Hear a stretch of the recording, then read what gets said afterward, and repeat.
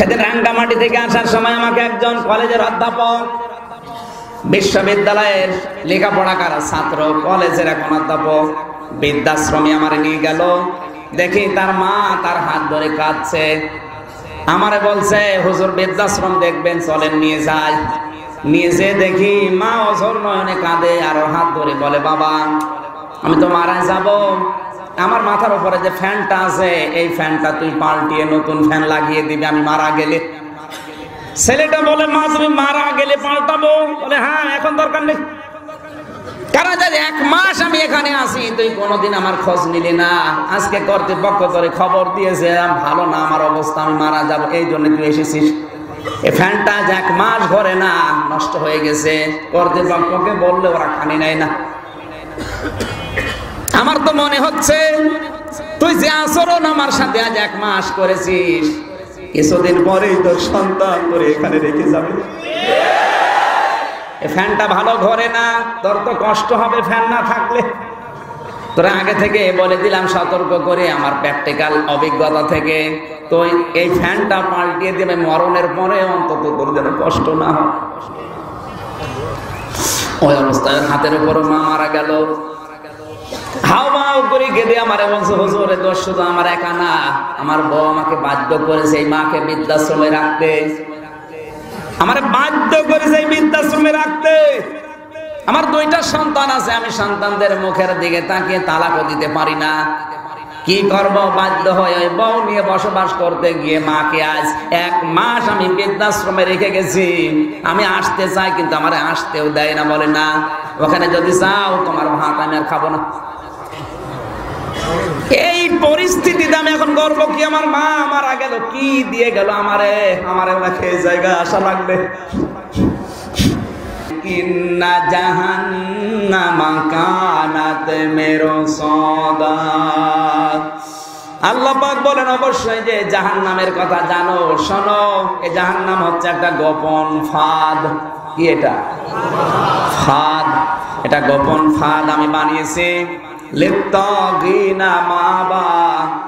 এটা যারা অবাধ্য, যে মানুষগুলো সীমা লঙ্ঘন করে, তাদের আশ্রয় স্থল জোরে বলেন এখানে জাহান্নামের কথা বলার পরে আল্লাহ বলেন, এটা ফাঁদ। আমরা ফাঁদ ব্যবহার করি পাখি ধরার জন্য। ফাঁদ ব্যবহার করা হয় অনেকে, মানুষ ধরার জন্য। আমি নিচে নামলে আপনার গায়ে লাগবে। লাগুক না, আমি মায়ের খাই আমি বুঝে ফেললে আবার বলার দরকার কি? পাখি ধরার জন্য অনেকে ফাঁদ বাঁধে, মানুষ ধরার জন্য অনেকে আজ ফাঁদ পেতে বসে আছে। কি ব্যবসা এদেশে চলছে, কি ফাঁদ, কিচ্ছু জানে না। একটা বই কোরআনের আয়াত লেখা আছে, হাতে ধরিয়ে ছবি তুলে ছেড়ে দিচ্ছে সিহাতি বই। আবার নিজে যে থানা থেকে টাকা দিয়ে ছাড়িয়ে এনে আবার মুক্ত করে দিচ্ছে, এই ফাঁদ ব্যবহার করে অনেকে আজ বাংলাদেশে ধনী হয়ে যাচ্ছে। যদি এই ঢাকা জেলায় শুরু হয়নি। কি ফাঁদ গো? কিচ্ছু ছিল না। এই ফাঁদ বেঁধে আজ কোটি কোটি টাকার মালিক। আপনি কি কথা বলছেন? এইরকম ফাঁদ পাতা লোক এদেশে আছে না নেই? নিরীহ মানুষ এই ফাঁদে ফেলে যারা টাকা ইনকাম করছে না আজ। আপনাকে আমার আল্লাহ একটা ফাঁদে ফেলবে। সেই ফাঁদের নাম হচ্ছে আগুন। নাম কি? যাহার নাম হচ্ছে আমার আল্লাহর ফাঁদ।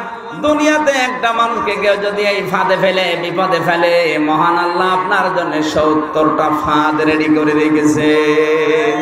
আপনি একটা না একটাই পড়বেনি এখানে যারা সর্বপ্রথম পড়বে, আল্লাহ তাদের নিদর্শন দিয়েছেন এই জাহান্নাম নামক যে ফাঁদ, এর প্রথম নাম্বারে যারা আশ্রয় পাবে, তারা হচ্ছে সীমা লঙ্ঘনকারী। কি? সীমা লঙ্ঘনকার কারা? জাহান্নাম আমরা এতক্ষণ পর্যন্ত আলোচনা করছি, জাহান্নাম সায় একটা, দরজা সাতটা। এর প্রথম নাম্বার দরজার নাম জাহান্নামে সাগির, দ্বিতীয় নাম্বার দরজার নাম জাহান্নামে সাকার তিন নাম্বার জাহান্নামের নাম জাহান্নামে লাজা। চার নাম্বারটার নাম হচ্ছে জাহিম, পাঁচ নাম্বারটার নামই হচ্ছে জাহান্নাম। এর দরজাগুলোর নাম, ছয় নাম্বারটার নাম হচ্ছে হাওয়া সাত নাম্বার দরজার নাম হচ্ছে হুতমা আমরা উল্টা করে এবার আলোচনা করছি। সাত নাম্বার যে জাহান নামের দরজা, এই দরজা দিয়ে আল্লাহ প্রবেশ করাবে তিন প্রকার মানুষকে। কয় প্রকার? এই বাংলাদেশের সাথে এবার আপনি মিলাবেন, আপনি যদি এই তিন প্রকারের যে কোনো এক প্রকারে থাকেন, এই মুহূর্ত থেকে ওই কাজ ছেড়ে দেবেন। তাহলে এই মাহফিল সাকসেস তাছাড়া এমনি লোক দেখানোর জন্য এসে কোনো লাভ নেই। এক নাম্বারে আল্লাহ জাহান নামে হুকমায় দেবে তাদের ওয়াইলুল্লি কুল্লি হুমাজাতিল লুমাজা আল্লাযী জামাআ মালাহু ওয়া আদ্দাদা। আল্লাহ পাক বলেন, ধ্বংস হয়ে যাক ওয়াইলুন অয়েল একটা দোজকের নামও অয়েল মানে ধ্বংস হওয়া। এর নিচে আর দোজকের কোন স্তর নেই। ধ্বংস হয়ে যাক। ওই মানুষগুলো যারা সামনে, পেছনে মানুষের নিন্দা করে, কি করে? আরও জোরে। এই নিন্দা এখন দুনিয়ায় নেই। কেউ সামনে করছে, কেউ পেছনে করছে। তাও নিন্দা যদি কেউ করে, তার ভেতরে দোষ থাকলে মেনে নেওয়া যায়। এমন এমন নিন্দা বের করছে যে দোষে ওই লোকটা দোষী না। এটার নাম অপবাদ। এটার নাম দহমত এটার নাম কি? এমনিতে কোন মানুষ যদি দোষ করে, তার দোষের কথা আপনি বললে ওইটা হবে গেবদ। আর ও যদি ওই দোষ না করে, ওই দোষে যদি কাউকে দোষী মানিয়ে দুনিয়ার মানুষের সামনে কেউ কালার করে, ওইটা হবে অপবাদ। তহমত এত বড় মারাত্মক অপরাধ এটা। কোরআনে কারিমে আমার আল্লাহ বারবার সতর্ক বাণী দিয়েছেন ইয়া আইয়ুহাল্লাযীনা মানুজতানিব কাসীরাম মিনাজ জন্নি ইন্না বা'দাজ জন্নি ইসমুন ওয়া লা তাজাসসু ولا يغتب بعضكم بعضا أيحب أحدكم أن يأكل لحم أخيه ميتا فكرهتموه واتقوا الله إن الله تواب رحيم সরি বলেন আল্লাহু আকবার সূরা হুজরাতের 12 নম্বর আয়াত একটু খেয়াল করবেন আল্লাহ তালা বলেন, ওহে ইমানের দাবিদার, তোমাদেরকে বলছি, অধিকাংশ ধারণা থেকে বেঁচে থাকো। আন্দাজে কারও উপরে ধারণা করতে দিও না। কারণ ধারণা করাই গোনা। ধারণা করা কি? আরও জোরে। ধারণা করাই গোনা। একে অন্যের পেছনে লেগে থেকো না। দোষ অনুসন্ধান করার জন্যে, তাকে ছোট করার জন্যে।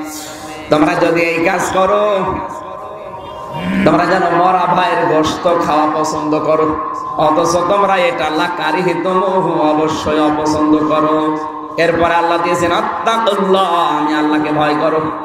খেয়াল করেন তো এতগুলো কথা বলার পরে আল্লাহকে ভয় করে, কথা বলার দরকার কি? কারণ এই কাজটা আমার আল্লাহর কাছে এত ঘৃণিত। এই কবিরা গোনাটা শুধুমাত্র ছেড়ে দেবেন হবে না। তাকওয়া শব্দের শাব্দিক অর্থ হচ্ছে ঘৃণা, ভরে ওই কাজ ছেড়ে দেওয়া। আমাদের ভেতরে দোষ তাদের আছে মানুষের উপরে খালি ধারণা করা। মানুষের দোষগুলো খুঁটে খুঁটে বের করে মানুষের কাছে বলা। সম্পর্ক নষ্ট করার জন্য তালা তালি করা। আরও জোরে। এই মারাত্মক রোগ যাদের ভেতরে আছে, আপনি যেই হন না কেন, এটা কিন্তু মরা ভাইয়ের গোস্ত খাওয়ার সামিল। আল্লাহ এই জন্য হত্যাকল্য দিয়ে জানিয়েছেন, এই নিষিদ্ধ কাজটা শুধু ছেড়ে দিও না, ঘৃণা করে ছেড়ে দাও। আমরা রাজি আছি না নেই এই দেশে আমরা যারা বসবাস করে, বিশেষ করে রাজনীতি করি, এরা যদি এই আয়াতটা মেনে নিত, আমার মনে হয় বাংলাদেশ এমনিতে জান্নাত হয়ে যেত। আন্দাজে এক ধারণা করে তাকে জাতির সামনে কালার করে দেয়। এটা যে কত বড় নিকৃষ্ট জঘন্য অপরাধ। সোরা নোরের এগারো থেকে বিশ এ দশটা আয়াতে আল্লাহ এই সম্পর্কে নাজিল করেছেন। অনেকে আন্দাজে একটা কথা শোনার পরে আনন্দ পায়, ছড়িয়ে দেয়, না। আপনাকে কথা ছড়ানোর আগে সঠিকভাবে সিদ্ধান্ত নেওয়া লাগবে। দেখি খোঁজ খবর নিয়ে আসলে এটা সঠিক কিনা। সবাই যদি এই মন মানসিকতা নিয়ে চলতাম আমাদের সমাজে অন্তত কোনো সম্মানিত মানুষের সম্মান নষ্ট হতো না এই কাজে বেশি অগ্রণী ভূমিকা পালন করেছিল আব্দুল্লাহ ইবনে উবাই والذي تولى كبره منهم له عذاب عظيم সূরা নূরের 11 নম্বর আয়াতে আমার আল্লাহ তথ্য দিয়েছেন হযরত আয়েশার প্রতি জেনার যে অপবাদ, জেনা করার যে অপবাদ দিয়েছিল, সর্বপ্রথম যে লোকটা অগ্রণ ভূমিকা পালন করেছে, তার নাম আব্দুল্লাহ ইবনে উবাই। নাম কি? আরও সরে একজন সাহাবীর সাথে জেনার অপবাদ দিয়েছে। হযরতে সাওবান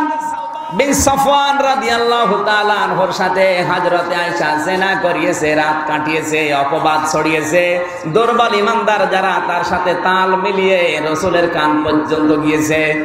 বিশ্বনবী শেষ পর্যন্ত আর সহ্যের ধৈর্যের বাইরে চলে যাওয়ার কারণে স্ত্রীকে পাঠিয়ে দিলেন, বাবার বাড়িতে যাও। কথা বন্ধ করে দিলেন। যাকে আল্লাহর নবী আদর করে হমায়রা বলে ডাকতেন, তার সাথে আর কথা বলে না। একদিন, দুই দিন, তিন দিন না, চল্লিশ দিন পার হয়ে যাচ্ছে। নবীজি শ্বশুর বাড়িতেও যান না, কথাও বলেন না। ওদিকে তার বাবা আবু বকরও কথা বলে না, মা উম্মে রোমানা তাও কথা বলে না। একটা মানুষের সাথে যদি পরিবারের কেউ কথা না বলে, কত বড় মানসিক যন্ত্রণা, আপনি টের পাচ্ছেন?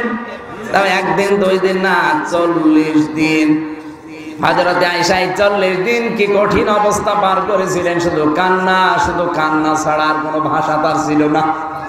এ দোষ যদি করার পরে অপবাদটা দিত মেনে নিতাম, তিনি নিজের থেকে তো জানেন যে আমি তো সেনা করিনি, কিন্তু আমি বসাবো কি করে? কঠিন যন্ত্রণা নিয়ে চল্লিশ দিন তিনি পার করছিলেন। চল্লিশ দিনের পরে আমার আল্লাহ সোরা নূরের এগারো থেকে বিশ, এই দশটা আয়াত তার চরিত্রের ব্যাপারে নাজিল করলেন। যে আইসার চরিত্র, উত্তম চরিত্র, তিনি সেনা করেননি। ইন্নাল্লাযীনা যাও বেলে কি অসবাতম মিনকুম লা লাকুম বাল হুয়া খায়রুল লাকুম। শব্দের দিকে খেয়াল করলে যেটা বাংলাদেশের সাথে মিলে যায়, আমি সেটা বলছি। ইন্নাল্লাযীনা যাও বিল ইফকি উসবাতুম মিনকুম। তোমাদের নবীর স্ত্রী হাজরাতে আয়েশার চরিত্রের উপরে যে কলঙ্ক দিয়েছিল, একটা দল, একটা কি? তোমরা এইটাকে শোনার পরে অনেকে খারাপ মনে করেছে, অনেকে ভালো না। যদিও তোমাদের কাছে এটা খারাপ লাগছিল, কিন্তু এই বিষয়টার ভেতরে আমি আল্লাহ কিছু কল্যাণ রেখেছিলাম। আমি রেখেছিলাম এই কারণে কেমন পর্যন্ত আব্দুল্লাহ ইবনে উবাই থাকবে না, কিন্তু তার পেতার তারা থাকবে। তারা এরকম ভালো মানুষের চরিত্রের ওপর এরকম মানুষে মাঝে মাঝে দোষ চাপিয়ে দেবে, অপবাদ রটাবে, গুজব ছড়াবে। এর দ্বারা তাদের নিজেদের চরিত্র মোনাফিকি এটা প্রকাশ পাবে। আর যাদের চরিত্র ভালো, ওটা আমি জাতির সামনে তাদের চরিত্রটা আরও উন্মুক্ত করে দেব। হজরতে আয়সাকে চল্লিশ দিন আমার আল্লাহ যে পরীক্ষায় ফেলেছিলেন, চল্লিশ দিন পরে আয়াত যখন নাসির হয়ে গেল, নবীজি গেলেন এবার দৌড়িয়ে শ্বশুর বাড়িতে কোথায়? লাউলা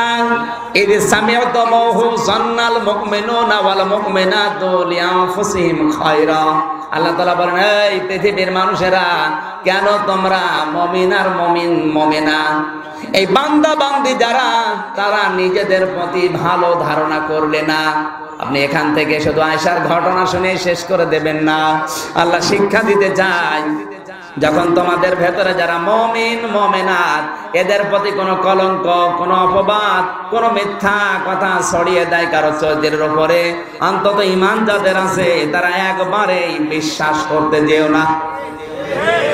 তোমরা কেন এই ভালো ধারণা না করে, খারাপ ধারণা করলে? না এটা করতে পারে। কেন করলে?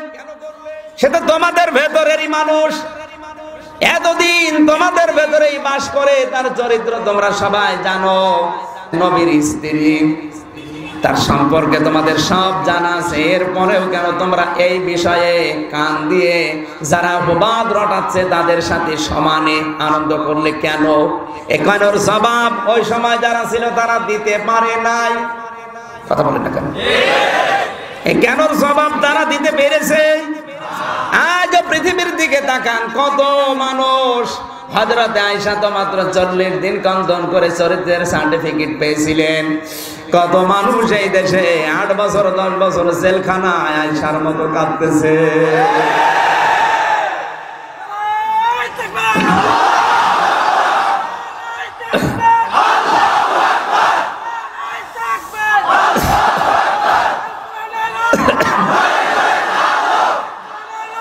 আমার মনে হয় করার আয়াত নাজিল হওয়ার সিস্টেম থাকতো।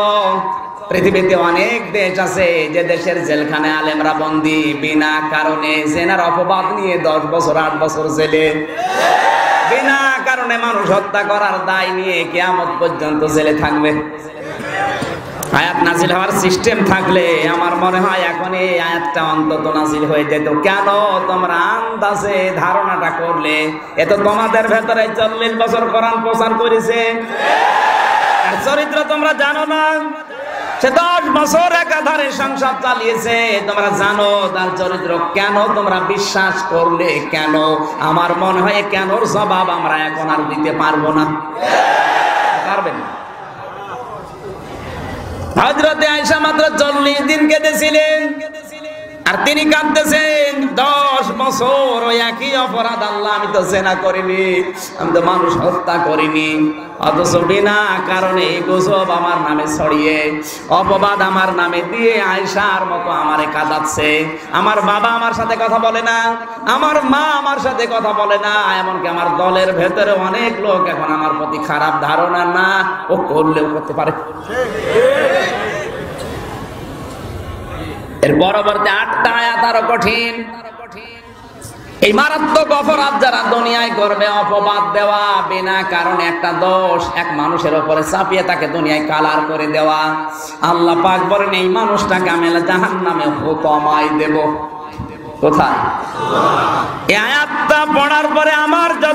ধারণা, বাংলাদেশে হাজার লক্ষ মানুষ জাহান নামে আসামি। এখানে কারা আছেন? হাত তোলেন তো। একজন শুধু।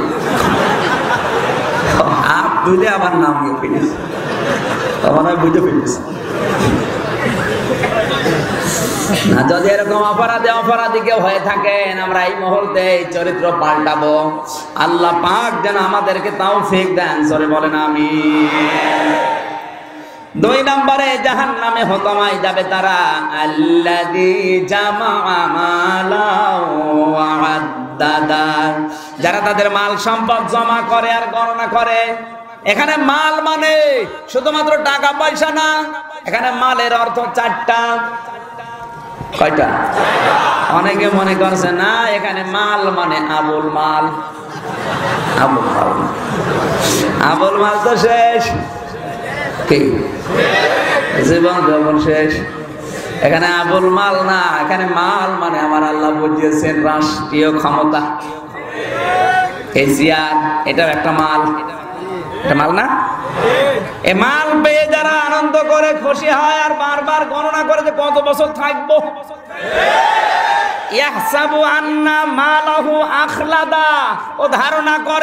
চিরস্থায়ী ভাবে আমার আমার আর নামা লাগবে না। এই ধারণা যাদের, তাদেরকে যে আল্লাহ দেবে, তার নাম হতমা এটা এই দেশে নেই ভারতে ও, এ দেশে তো আমি পাই না। ভারতে আমি দেখেছি যে যখন যে চেয়ারে বসে, মনে করেন নামা লাগবে না। চেয়ার বারবার গণনা করে যে এই কয় বছর, এই কয় বছর, এই কয় বছর থাকব। বসে ধারণা করে, আন্না মাল আখলাদা তার এই মাল তার এই সম্পদ, তার কাছে স্থায়ী ভাবে থাকবে। আল্লাহ বলেন, কাল্লা, কখনো না হুকমা। অতি শীঘ্রই আমি আল্লাহ তাকে জাহান্নামে হুকমায় নিক্ষেপ করব। হুকমা। নবী, আপনি জানেন জাহান্নামে হুকমা কি? এটা জাহান্নামে হতো মা আমি আল্লাহর জ্বালানো আগুন। জাহান্নামে হুকমাটা আমার আল্লাহ নিজে জ্বালিয়েছেন। এই যে আগুন দেখতে পান খাবার রান্না করার জন্য, এটা জাহান্নাম থেকে সত্তর বার ভৌত করার পরে আল্লাহ পাঠিয়েছে। সত্তর গুণ তেজ কম এই আগুনের। এই যদি এত তেজ হয়, সত্তর গুণ বেশি আগুনের তেজ জাহান নামে হতমায়, যেটা আল্লাহ নিজে জ্বালিয়েছে, তার তেজ কেমন? আল্লাতি তাত্তালিউ আলাল আফইদা। জাহান্নামের আগুনের, বিশেষ করে হুকমার আগুনের বৈশিষ্ট্য, এই শরীরের কোন জায়গায় লাগতে দেরি, কলিজা পুড়তে দেরি হবে না।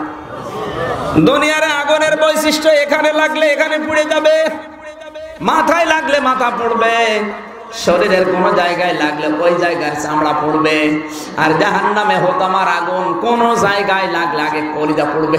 তাহলে পাওয়ার কত?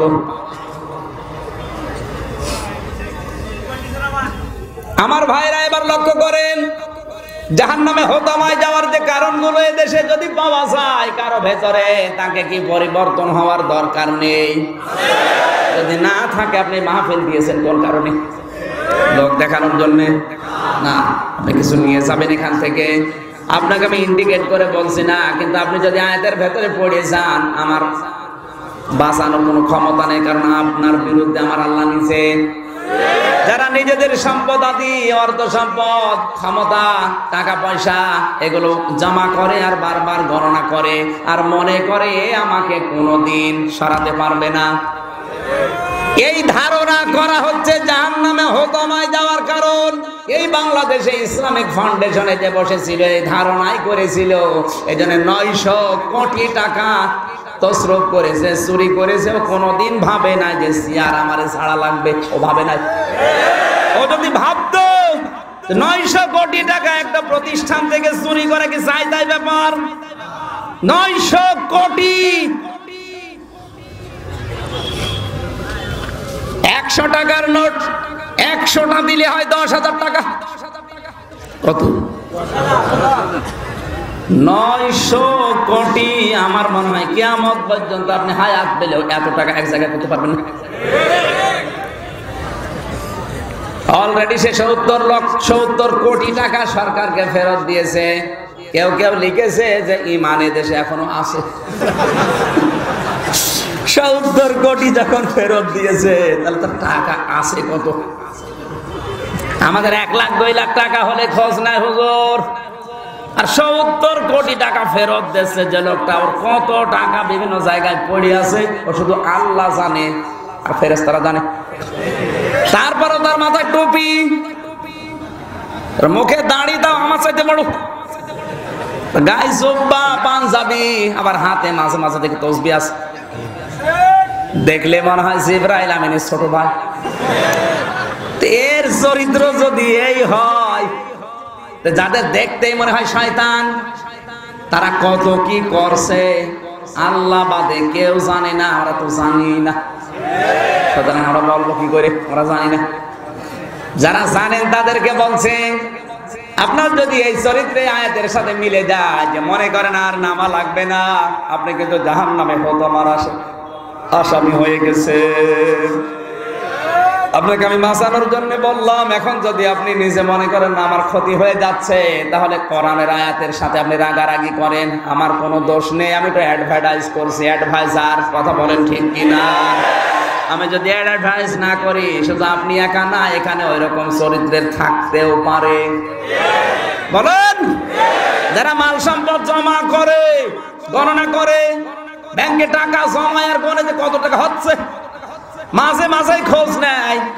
ম্যানেজারের কাছে দেখেন তো আমার এই নাম্বারে কত টাকা জমলো।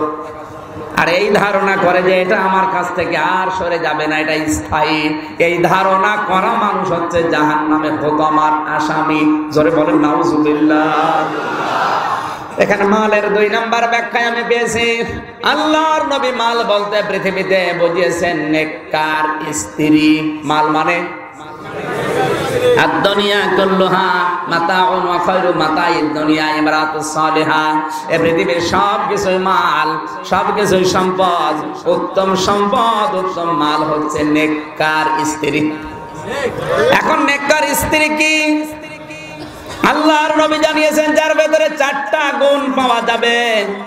ওইটা নেককার স্ত্রী? জান্নাতের যে একশোটা স্তর আছে সব আমার আল্লাহ স্ত্রীর জন্য খুলে রাখবে। এবার আপনি যাকে বসবাস করছেন নিয়ে দেখেন তোর ভেতরে চারটা আছে কিনা? না হাদিস বলব না। যদি আপনার সাথে না মেলে এক নম্বরে ওই স্বামীকে আনন্দ দেয়।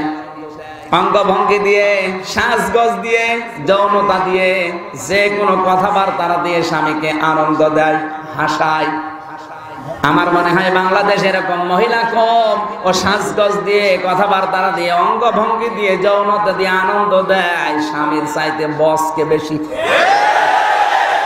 অফিসে গেলে ওর ভাব দেখে কে? পোশাক কি গো? আপনি আনন্দ পাবেন না কতক্ষণ?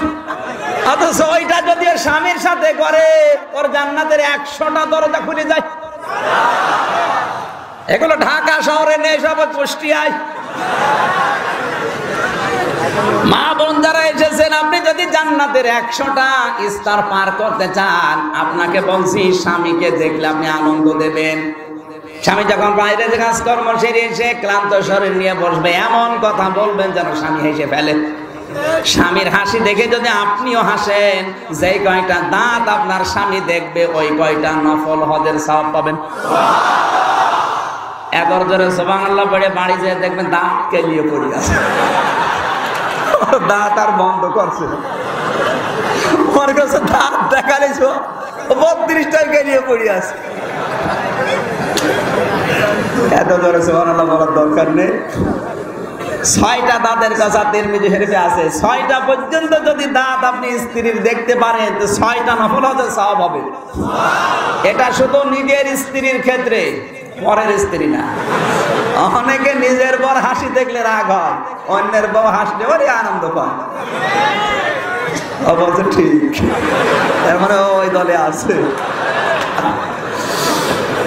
সম্মানিত মা বোনেরা, আপনাকে আহ্বান জানাচ্ছি, আপনার স্বামী এটা পৃথিবীর শ্রেষ্ঠ মেহমান। আপনার কাছে এর চাইতে আর বড় মেহমান কেউ নেই। বাংলার বহু পুরুষ আজ পরকিয়া প্রেম করছে, শুধু স্ত্রীর এই উদাসীনতার কারণে। আবার হাত তুলে বলছে, ঠিক। বিয়ে না করে যদি এই করে তো বিয়ে করলে তো পালিয়ে যাবে। না, আপনার হাত তোলা ঠিক হয় না। বিয়ে করেছেন? বাচ্চা মানুষ। আমার হাত তুলে যদি বলে ঠিক। ও লাইন করল বলি না আমি সাপোর্ট করছি না। এটা। আপনি যার সাথে লাইন করেছেন, ওর ভেতরে যা আছে, আপনার স্ত্রীর ভেতরে তাই আছে। সুতরাং ভাইরা যারা এই লাইনে আছেন, বাদ দেওয়া লাগবে। স্ত্রীর এক্ষেত্রে দোষ হচ্ছেও আপনাকে সময় দিতে চায় না, আপনার সাথে এভাবে আনন্দ দিতে পারে না। এই জন্যই তো স্ত্রী, স্বামী, স্ত্রীর আনন্দটা ব্যাপার কোন স্বামী যদি স্ত্রীর হাত চেপে ধরে, যত সগিরা গোনা ওই দিন হবে, সব আল্লাহ সরিয়ে দেবে। আপনি কোনোদিন হাত চেপে ধরেছেন? হ্যাঁ? না? আলহামদুলিল্লাহ। এ, হুজুর ধরেন। আমি জানি, হুজুরের মিল নেই। আহ্বান জানাচ্ছে, আপনি আরও মহব্বত বাড়াবেন স্যাক্রিফাইস করবেন। স্ত্রীর হাত চেপে ধরলে যত গণা আছে সব ওই হাতের ফাঁকা দিয়ে সরিয়ে দিতে এর চাইতে আবার কোন পীর সাহেব কি দেবে আপনাকে? এমনকি স্বামী স্ত্রীর মিলন ও এবাদত আপনি যে গোসল করেন, যতগুলো ফোঁটা পানি পড়বে, ওই ফোঁটা এক একটা সব আপনার আমল নামায় জমা হবে। সাহাবিরা বলে, হুজুর, এই কাজেও সওয়াব। নবীজি বলেন হ্যাঁ তুমি যদি নিজের স্ত্রী বাদ দিয়ে অন্যের স্ত্রীর সাথে কাজ করতে, অবশ্যই গোনা হতো। বলে হ্যাঁ ওটা যদি গোনা হয়, জায়েজ জায়গায় কাজ করলে সওয়াব হবে না কেন? মা বোনদেরকে আহ্বান জানাচ্ছি, আপনি একটু উদার হন। স্বামীকে অন্তত আনন্দ দিতে আপনার শরীরের ভেতরে আমার আল্লাহ জিনিসগুলো দিয়েছে। একটু স্যাক্রিফাইস করলেই পারা যায়। একটা স্বামীর মন যদি আপনি জয় করতে না পারেন আল্লাহর মন জয় করবেন কি দিয়ে? দুই নম্বরে ওই স্বামী স্ত্রী উত্তম নেকা স্বামী যেটা পছন্দ করে, স্ত্রী ওইটা পছন্দ করে। আমার মনে হয় এই যে দুই নাম্বার পয়েন্টের স্ত্রী বাংলাদেশে কম।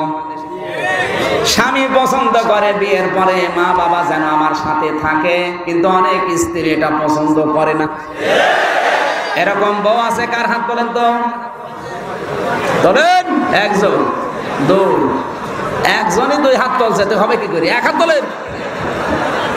ওর কি বউ না কলেরা? কি নিয়ে বাস করছে? এই, আপনি দাঁড়ান দেখি। দাঁড়ান। আপনার বউ মনে হয় ও আপনি? তুলবেনি না। এই ক্যামেরা শুধু আমার দিকে মেরে রাখলে হবে ওই দিকে মারবা। ওর বউ যদি মহিলা প্যান্ডেলে থাকে দেখো। না সম্মানিত মা বোন আমি হাসির খোরাকি দেয়নি।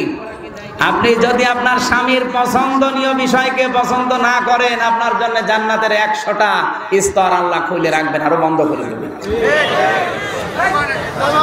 এখানে অন্তত আমরা যারা স্বামী আছি, প্রত্যেকটা স্বামী এটা পছন্দ করি। আমার বিয়ের পরে মা বাবা যেন আমার সাথে থাকে। যারা স্বামী আছেন, তারা হাত তোলেন তো। সেটাই। এই বয়সে হাত তুলেছ মানে বিয়ে করেছ? আমি বললাম, যারা স্বামী আছো আলহামদুলিল্লাহ, না বিয়ে করলে ভালো। এই বয়সে বিয়ে করে কি খাতি দাও? ভাত ভালো। মা বোনেরা, প্রত্যেকটা স্বামী এখানে যারা অন্তত স্বামী আছে, হাত তুলেছে, যে আমার মা বাবা যেন আমার সাথে থাক। আপনার ছোট মনের কারণে আমরা রাখতে পারি না। এখানে হাজারো স্বামী বাধ্য হচ্ছে স্ত্রীর মন রক্ষা করতে গিয়ে মা বাপকে আলাদা করে দিতে। কথা বলেন। আপনার জন্য জান্নাতের দরজা খোলা নেই, বন্ধ। ওটা যদি খুলতে চান, এখনই পরিবর্তন সেদিন রাঙ্গামাটি থেকে আসার সময় আমাকে একজন কলেজের অধ্যাপক, বিশ্ববিদ্যালয়ের লেখাপড়া লেখাপড়াকার ছাত্র, কলেজের এখন অধ্যাপক, বৃদ্ধাশ্রমে আমার নিয়ে গেল। দেখি তার মা তার হাত ধরে কাঁদছে। আমারে বলছে, হুজুর বৃদ্ধাশ্রম দেখবেন, চলেন নিয়ে যায় নিয়ে যেয়ে দেখি মা অঝর নয়নে কাঁদে আর হাত ধরে বলে, বাবা, আমি তো মারা যাব। আমার মাথার উপরে যে ফ্যানটা আছে, এই ফ্যানটা তুই পাল্টিয়ে নতুন ফ্যান লাগিয়ে দিবি, আমি মারা গেলে। ছেলেটা বলে, মা, তুমি মারা গেলে পাল্টাবো? বলে হ্যাঁ এখন দরকার নেই। যদি এক মাস আমি এখানে আসি তুই কোনোদিন আমার খোঁজ নিলি না।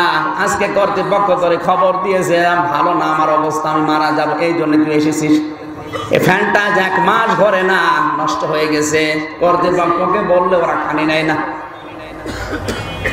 আমার তো মনে হচ্ছে, তুই যে আচরণ আমার সাথে আজ এক মাস করেছিস, কিছুদিন পরেই তোর সন্তান করে এখানে রেখে যাবে। এ ফ্যানটা ভালো ঘরে না, তোর তো কষ্ট হবে ফ্যান না থাকলে। তোরা আগে থেকে বলে দিলাম, সতর্ক করে আমার প্র্যাকটিক্যাল অভিজ্ঞতা থেকে। তো এই ফ্যানটা পাল্টিয়ে দেবে, মরণের পরে অন্তত তোর যেন কষ্ট না হয়। ওই অবস্থায় হাতের উপর মা মারা গেল। হাও মাও করে কেঁদে আমার বলছে হুজুরে দোষ আমার একা না। আমার বউ আমাকে বাধ্য করেছে এই মাকে বৃদ্ধাশ্রমে রাখতে। আমার বাধ্য এই বৃদ্ধাশ্রমে রাখতে। আমার দুইটা সন্তান আছে, আমি সন্তানদের মুখের দিকে তাকিয়ে তালাকও দিতে পারি না। কি করব? বাধ্য হয়ে ওই বউ নিয়ে বসবাস করতে গিয়ে মাকে আজ এক মাস আমি বৃদ্ধাশ্রমে রেখে গেছি। আমি আসতে চাই, কিন্তু আমার আসতেও দেয় না, বলে না। ওখানে যদি যাও, তোমার ভাত আমি আর খাব না। এই পরিস্থিতিতে আমি এখন গর্ব কি আমার মা মারা গেল? কি দিয়ে গেল আমারে? আমারে ওনাকে এই জায়গায় আসা লাগবে। সম্মানিত মা বোনেরা, আমি ছোট হয় আর বড় হয় আমি একজন কিন্তু স্বামী। আমি মন থেকে বলছি, পৃথিবীর কোন স্বামী চাই না বিয়ের পরে তার এত কষ্টের মা বাবাকে আলাদা করে দিতে। আপনার জন্য আমরা বাধ্য হচ্ছি। আপনার মন রক্ষা করতে গিয়ে, আর আপনিও শুধু দায়ী না, আপনাকে বারবার টিপস দেয় আপনার মা আর আপনার বোন। ওখান থেকে মোবাইলে টিপস দেয়, আলাদা হয়ে যা, ভালো খেতে পারবি।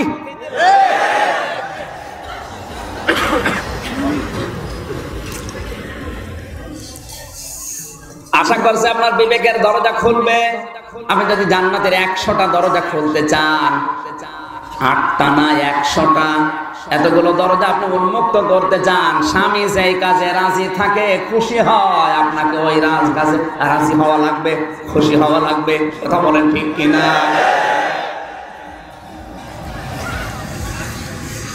পিতা মাতার যে কষ্ট ওরা কোরআন পড়ে আমার এই ছোট্ট জীবনে আমি এতটুকু বুঝেছি, আমার আল্লাহর পরে সব চাইতে বেশি হক আমার উপরে আমার মা আর আমার বাবার। কিন্তু হক আজ আমরা মাঠে মারা যাচ্ছে, পারছি না। কোরআনে কারিম জানিয়েছে ওয়াখফিদ লাহুমা জানাহাজ্জুল্লি মিনার রাহমান, আকুর রাব্বির হামহুমা কামা রাব্বায়ানি আল্লাহ রাব্বুল আলামিন বলেন আখফিদ খফজুন শব্দের শাব্দিক হচ্ছে ডাউন ফল করা এখানে যারা আলেম আছে তাদেরকে বললি অকফেদ মানে ডাউন করা না, ডাউন ফল করা। অকফেদ লাভমা এদের এই দুইজনের জন্য, তার মানে মার বাবার জন্য তুমি ডাউন ফল করে দাও। কি? জানা হোম তোমার ডানা। কি? বলেন। জিল্লুন মানে ছায়া, রহমত মানে দয়া। তোমার রহমতের ডানার ছায়া, তুমি ডাউন করবা না, ডাউন ফল করে দাও। এবার প্রশ্ন, মানুষের ডানা হয় ডানা হয় পাখির, কার? তাহলে আয়াতটা ভুল। না মানে? মানুষের তো ডানা নেই, মানুষের বাহু আছে, হাত আছে। তাহলে আল্লাহ আদম না দিয়ে আবদা না দিয়ে জানা হন দিলেন কেন? লক্ষ্য করেন আল্লাহর শব্দ চয়ন কত উন্নত, কত বুদ্ধিমান আমার আল্লাহ। কীভাবে শব্দ চয়ন করলেন? জানা, হন মানে ডানা, যেটা মানুষের হয় না, পাখির হয়। আল্লাহ পাখির কাছ থেকে ডানাটা হাওলাত করেছেন, ধার করেছেন। পৃথিবীতে কত প্রাণী আছে, তাদের কাছ থেকে নিলেন না, নিলেন পাখির কাছে। কেন? কারণ পাখির যে ডানায় ডানার ভেতরে পর আছে। কি আছে? এ পরের ভেতরে খুব নরম নরম, দেখবেন সফট কমল। মোলায়েম। কি কথা বললেন? এত মোলায়েম, এত নরম, এত সফট, এত কমল। পাখি যখন তার ডানাটা এভাবে বিছিয়ে দেয়, একটার সাথে একটা পর যখন মিলে যায়, ওটা শুধু ডাউন করলে ছাদের মতো হয়, ফল করলে ঘরের মতো হয়। আল্লাহ এমনি দেয়নি এ পাখি যখন বাচ্চাদেরকে শত্রুর আক্রমণ থেকে বাঁচানোর জন্য ডানাটা ডাউন করে, এরপরে ফল করে দেয়। তখন বাচ্চারা ওর নিচে অবস্থান নিয়ে একটা অনির্বচন সুখ অনুভব করে। অন্তত বাচ্চারা ওই সময়ের জন্য মনে করো কোনো চিল, কোনো কাক, কোনো শত্রু আমাদেরকে ধরতে পারবে না, দেখতেও পারছে না। এই বিশ্বাস তাদের আসে। এজন্য একটা অনির্বচন শোক তারা পায়। আল্লাহ তালা বুঝিয়েছেন, পাখি যেমন ডানা দিয়ে ডাউন করে না, ডাউন ফল করে বাচ্চাদেরকে অনির্বচন শোক দেয়। বান্দার বান্দি যারা আছো, তোমার মার বাবা দুইজন যদি বার্ধক্য অবস্থায় পৌঁছিয়ে যায় যতদিন তুমি জীবিত আছো, তারা যেন মনে করে আমাদের আর চিন্তা নেই। আমরা কি এই শোক মা বাবাকে দিতে পারছি? না। হাজারে দু একজন অধিকাংশ স্বামী আমরা ব্যর্থ, পারি না, মন থাকলেও পারি না, বোর কারণে। দেখবেন অনেক বউ আছে, নিজের বাবার বাড়ি থেকে কেউ আসলে স্বামীকে দিয়ে খরচ করায়। পোশাক আশাক নিয়ে আসো, বাজার নিয়ে আসো। কিন্তু স্বামীর বাড়ি থেকে যদি স্বামীর মা বাবা আসে, স্বামীর বোন আসে, ভাই আসে, একটু যদি খরচ করে, অনেক বউ আছে, মন খারাপ করে। এমনকি স্বামীর সাথে কথাও বলে না। কথা বলে না কেন? এই যে ছোট মন, এই ছোট মনের বউ আছে এলাকায় কার থেকে হাত তোলেন?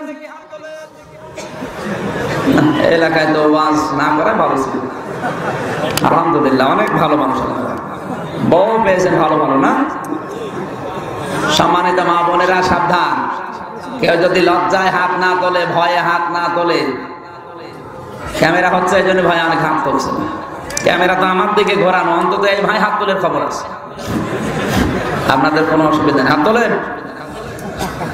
এখানে কয়েকজনের সামনে হাত তুলতে লজ্জা হচ্ছে। কে আমাদের কোটি কোটি মানুষ থাকবে। আপনার হাত তুলে বলা লাগবে যে স্ত্রীর উপর আমি রাজি ছিলাম না। সম্মানিত মা বোনেরা, যতই নামাজ পড়েন, রোজা রাখেন আর কালো বোরকা পরে ঘুর ঘুর করে ঘুরে বেড়ায়। অথচ স্বামী রাজও মন জয় করতে পারে না। স্বামী যদি মা বাবার জন্য খরচ করে, ও বউ মন খারাপ করে। ওকে মানুষ না ডাইনি? একটা বড় চিন্তা করে না, আমার এই স্বামীর পেছনে সবচাইতে বেশি শ্রম ওর মা আর বাবা। বাইশ থেকে পঁচিশ বছর পর্যন্ত যা করেছে, আমার পেছনে, আমার এই সন্তানের পেছনে আমি যা করছি, ও তাই করেছে ওর মা বাবা। এতটুকু খেয়াল করলে তো আরও স্বামীকে উৎসাহ দেওয়া যায় যে, করেন, আপনার যতটুকু সমর্থ আছে, করেন। ওদের পেছনে করবেন না, করবেন কার পেছনে? তুমি আরও বাধা দাও। তোমার জন্য জান্নাতের একশোটা স্তর না জাহান নামের সাতটা। তিন নাম্বার, ওই স্ত্রী নেককার, ওইটাই নেককার মহিলা। যে মহিলা তার স্বামীর ইনকামের উপরে নির্ধারিত চাহিদা ঠিক রাখে। এ লোকটার উপায় হচ্ছে প্রতি মাসে তিরিশ হাজার টাকা। এমন বউ পেয়েছে, প্রতি মাসে ওর সাজতে লাগে বিউটি পার্লার আঠাশ হাজার। ও করবে কি? তখন বাধ্য হয় গম চুরি করতে। টিন চুরি করতে। অফিসে যদি থাকে অফিসের টাকা দুই নাম্বারই করতে কথা বলেন ঠিক কিনা? আমি পুরুষ মানুষ, আমি সচরাচর জানি, কোন পুরুষ এমনিতে বাধ্য হয় না অন্যায় করতে, কিন্তু বাধ্য হয় স্ত্রীর মুখের দিকে তাকিয়ে। খালি গানের কাছে গানের গানের কি করো তুমি?